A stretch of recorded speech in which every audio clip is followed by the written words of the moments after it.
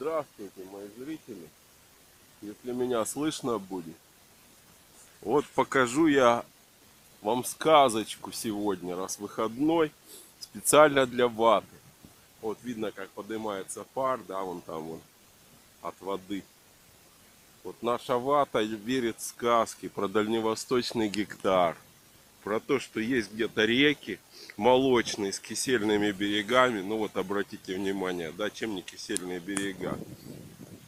И что там будут, значит, на них, что там они получат свой гектар, который им Пути обещал там, или кто, Димон еще. Он вам не Димон.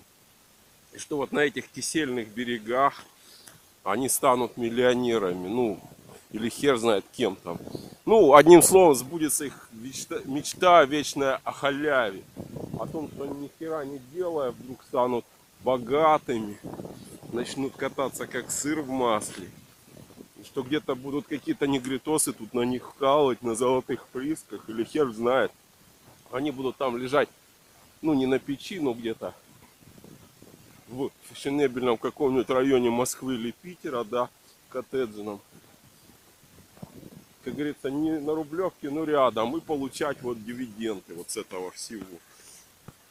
Ну я разочарую эту ёбнутую вату, блядь. Что никаких молочных рек, кисельных берегов нет. Берега самые что ни на есть.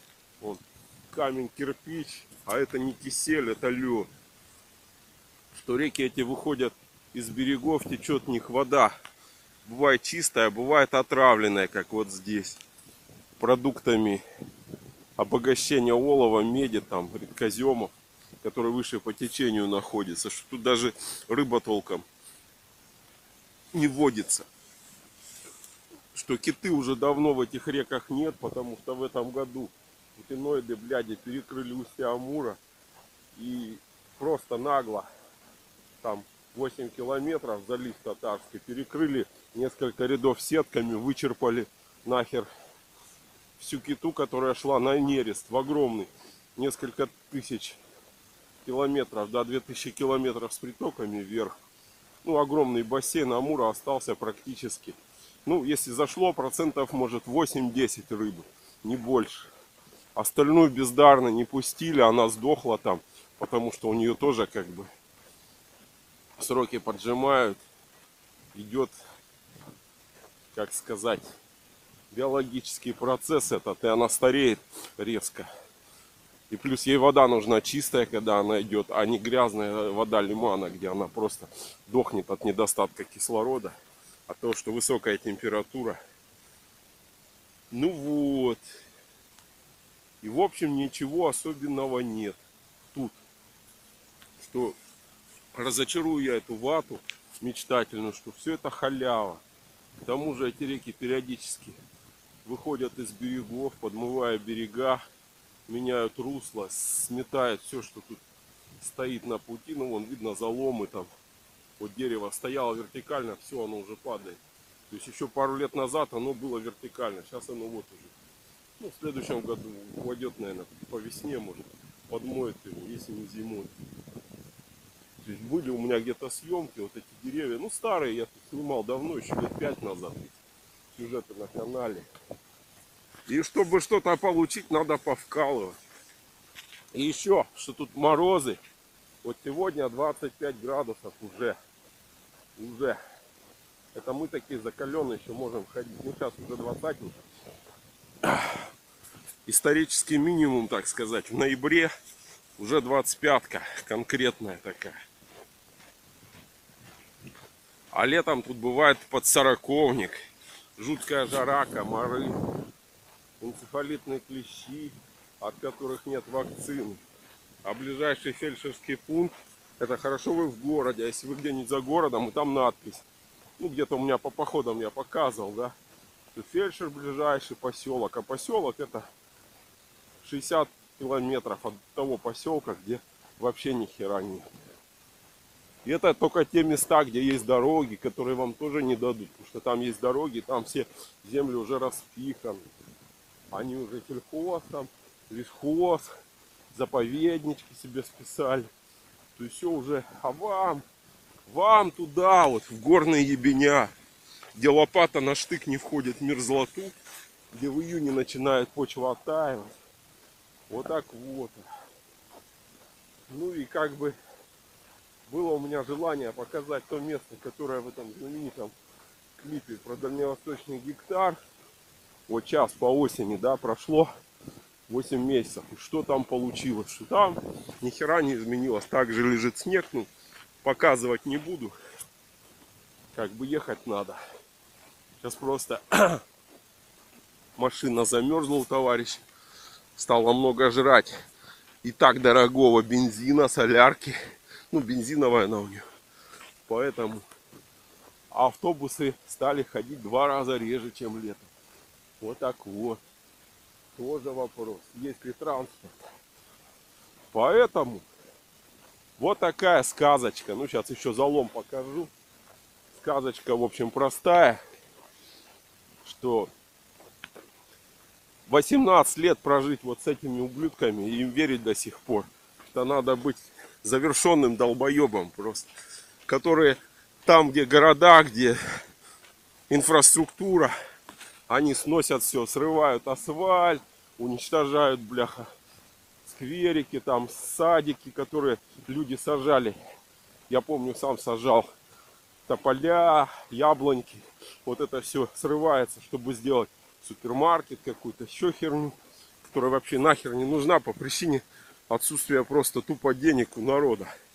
Капиталистический кризис, блин, изобилия, когда всего до хера купить нельзя. Ну вот, полюбуйтесь.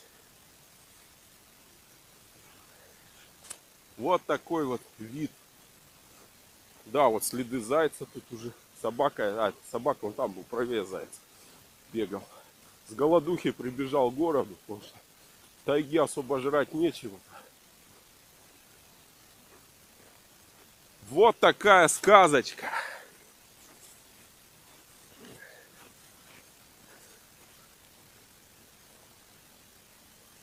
Вы не китайцы, которые тут за 6 соток, вот в этом году 9 тысяч заплатили за участок. Это китайцы 25 рублей за гектар платят, потому что они на Путина имеют компроматы и прочие херни. А вас тут будут сдрючивать, сдрачивать. Ну, вы можете, конечно, да, помечтать еще. Были мечтатели с ваучерами, тоже мечтали стать богатыми, расхерачили всю социалистическую экономику, все предприятия, и теперь где они? Кто-то умер от разочарования, кто-то мечтает по-прежнему, их дети, там, внуки. Ну, а тем реалистам, которые понимают, куда прикатилась страна, ну, как бы ясно. Ну, а в целом, конечно, да, красиво все но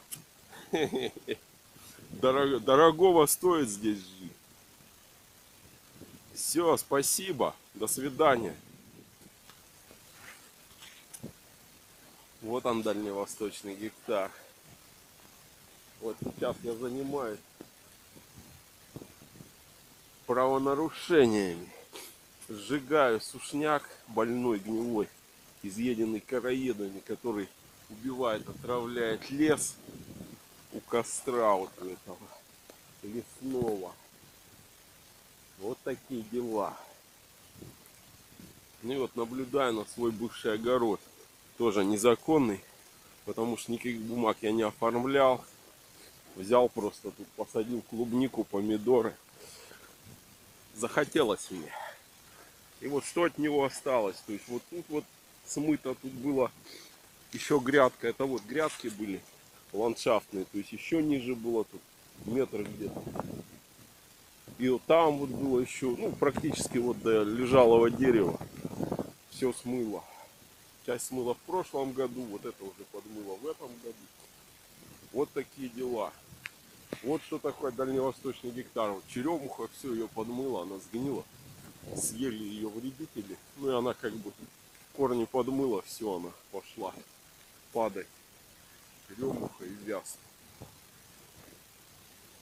Вот тут опять подмерзлая клубника. Я уже в этом году плюнул, потому что подмывает все. Течение сюда пришло, смоет.